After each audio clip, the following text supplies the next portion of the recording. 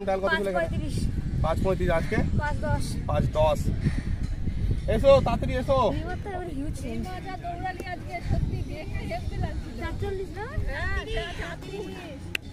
না? প্রথম দিনে টায়ালের টাইম কত ছিল? পাঁচ চব্বিশ। আর আজকে? চার তিরিশ পাঁচ চব্বিশ থেকে চার তিরিশ দুশো মিটার টাকে রান করছে। ভেরি গুড খুব ভালো স্টেট দারুণ